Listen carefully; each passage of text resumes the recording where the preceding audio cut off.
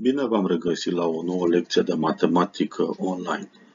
Sunt profesorul Adrian Ivan de la Liceul Teoretic Grigore Moisil din Tulcea și în cadrul întâlnirii de astăzi vom discuta despre concurența mediatoarelor laturilor unui triunghi.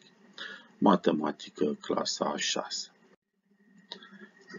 Ne reamintim 1. Definiție Dreapta perpendiculară pe un segment care trece prin mijlocul segmentului se numește mediatoarea segmentului. La 2 am spus următoarea teoremă, orice punct din plan situat la egală distanță de capetele unui segment se găsește pe mediatoarea acestuia și reciproc. O altă teoremă importantă ne spune că în orice triunghi, mediatoarele laturilor sunt drepte concurente, punctul de concurență se notează cu o mare și el este situat la egală distanță de vârfurile triunghiului. O se mai numește centrul cercului circumscris triunghiului nostru, adică cercul care conține cele trei vârfuri ale triunghiului. În uh, figura din imagine considerăm un triunghi notat A, B, C și în acest triunghi cu M notăm mijlocul lui BC, așadar M aparține laturii BC, BM egal MC, N mijlocul laturii AC, deci N aparține laturii AC și are proprietatea că NA egal cu NC, respectiv P, mijlocul segmentului AB, adică P aparține laturii AB și PA egal cu PB.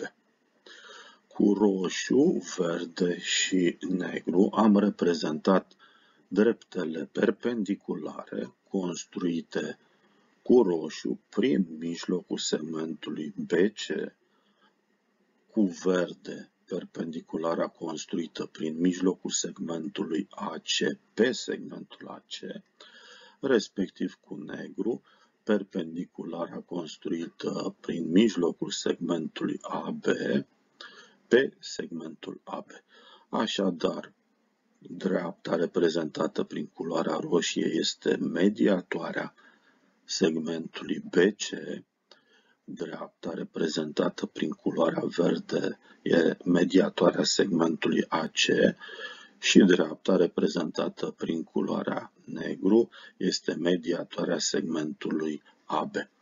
Aceste trei drepte sunt concurente, punctul comun l-am notat cu O, așa cum se vede în imaginea noastră.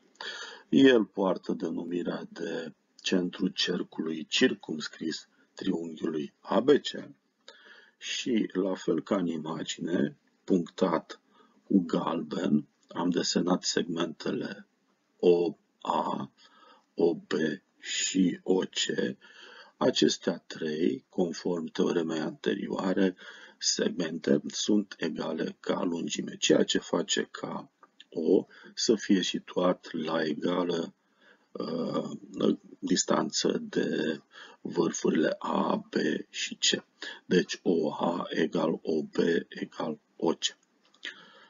Aceste lucruri le-am reprezentat anterior, cum spuneam, în triunghiul ABC am precizat mijloacele MN și P ale laturilor BCAC, respectiv AB, uh, OM perpendicular pe BC, ON perpendicular pe AC, OP perpendicular pe AB, deci mediatoarele, OM, ON și OP ale laturilor BC, AC și AB.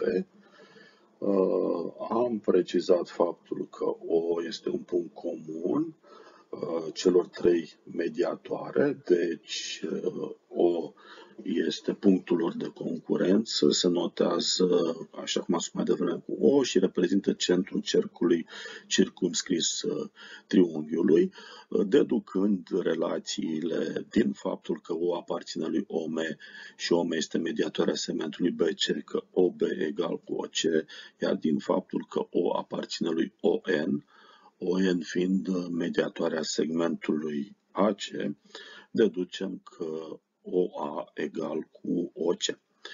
Uh, proprietatea punctelor situate pe mediatoarea unui segment. Uh, așadar, din uh, aceste relații găsim egalitatea între segmentele OA, OB și OC, anume OA egal OB egal OC. Așadar, O este situat la egală distanță de vârfurile triunghiului ABC temă de reflexie, am spus uh, că vom considera un triunghi ABC care să aibă lungimile laturilor egală cu AB cu 3 cm, BC cu 4 cm, AC cu 5 cm. Uh, vă propun să desenați un triunghi, triunghiul ABC și să reprezentați mediatoarele laturilor și punctul lor de concurență. Vă doresc succes și vă aștept la o nouă întâlnire. La revedere!